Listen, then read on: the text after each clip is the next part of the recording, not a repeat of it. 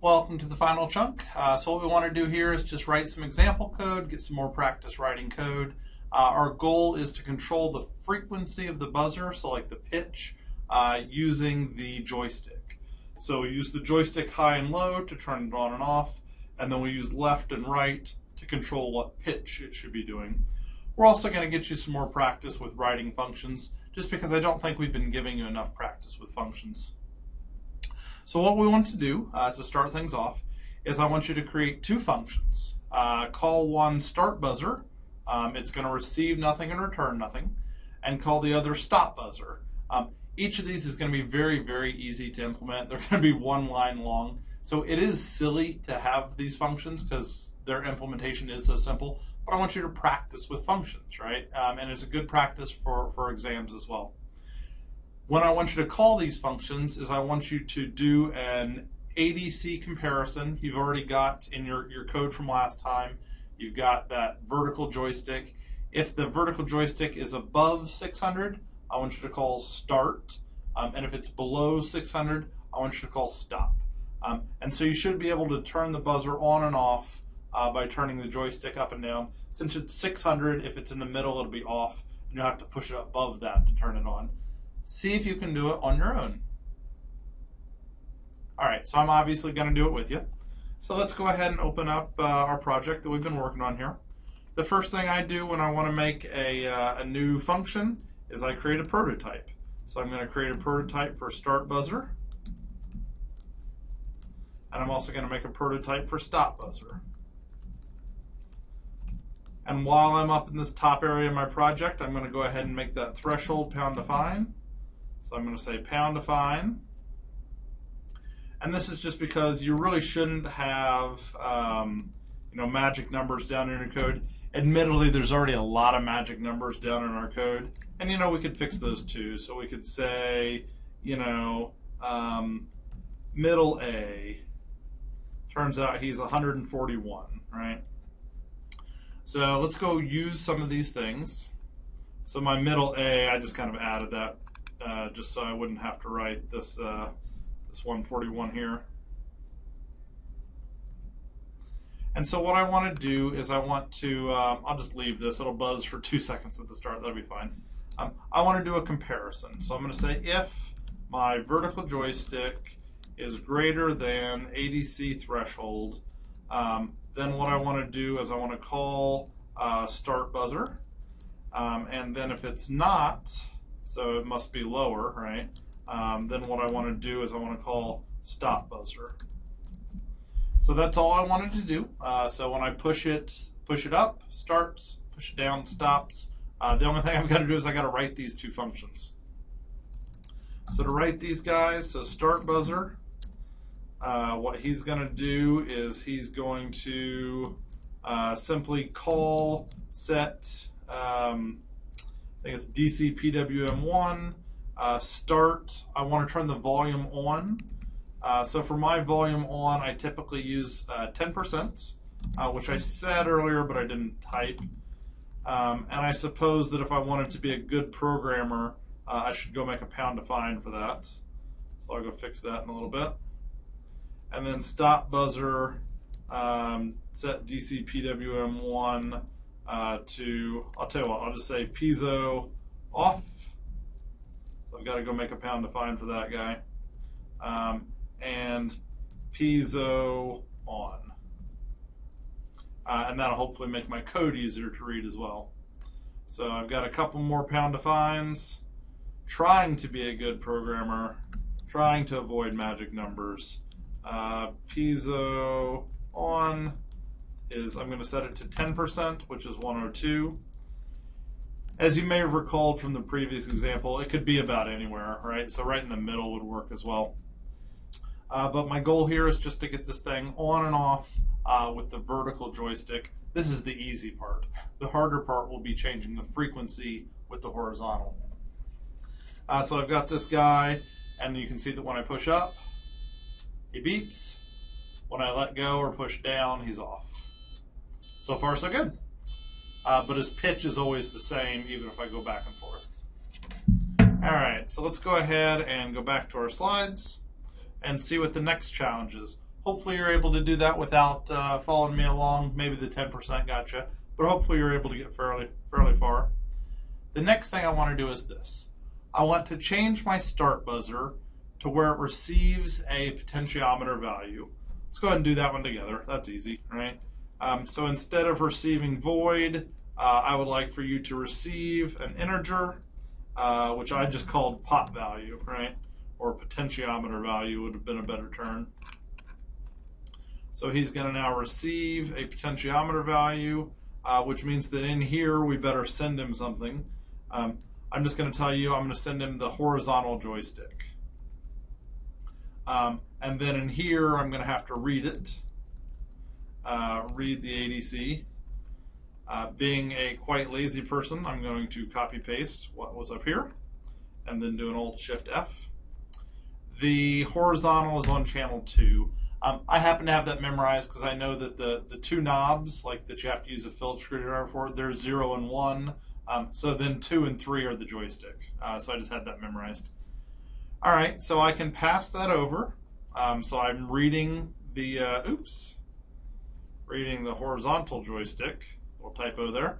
Um, so reading the horizontal joystick, and then I'm passing that into the function. Obviously, I could have done that inside the function, but I wanted to practice passing things to functions. And then our to do in here is to do. Um, use the pot value, the potentiometer value uh, to set uh, the piezo frequency. All right, so that's your job. So you're going to obviously call uh, open PWM1, which it's a shame that you have to call a function called open to change the frequency, but that's just how it works. Um, and you're going to try to set a reasonable uh, timer tick here. Let's go give you some more information about what I want you to do. Right, so the way that I want you to do these is I want you to um, call open uh, PWM with a value of 70. Um, if the ADC, it says frequency there, but really you should say what you're opening with. Open it with a value of 70, uh, which corresponds to some frequency, right? Um, and then I want you to open it with uh, with 254. I don't know why I chose 254. I could have chosen 255. Um, but do an open PWM um, of 254 if you see a potentiometer value of 1023. So I've kind of done the hard part for you, right? I've, I've told you um, the actual timer tick value you're going to use. Um, and so what you need to do is you need to make some formula it's not a hard formula, right? So it's like, you know, timer ticks, um, it's equal to um, rise over run, right? So you've got a, a, change in x over change in y plus 70. Um, so it's the ADC value over the range that needs to go. If it needs to go up a total range um, of this much, so it's like, um, I don't know, 254 minus 70 uh, divided by 1023. Um, so that times uh, the ADC uh, should get the job done, right? Um, so see if that makes sense to you and see if you can write it in code and implement it. I will give you a big warning that you need to be very careful about integer math. All right, take a minute and see if you can do it and see if you can worry about integer math as appropriate. All right, so I'm going to solve it as well. Uh, so I've kind of got my basic formula here, and I gave you some places to where you know you could you could fill out something like this, right, if you wanted. Uh, but I've got it on the next slide. So the first thing that I might try is this, right? So I've got my potentiometer value divided by 1023, uh, multiplied by the range I need, then add my bias, which is 70. Easily can convert that to C code uh, just like this. I could type that in, um, let's think about what happens though, right? So a potentiometer value, let's say the value is 512, uh, which should be right in the middle of your range. 512 divided by 1023, integer math, uh, that is zero, right? Zero times any number is still zero.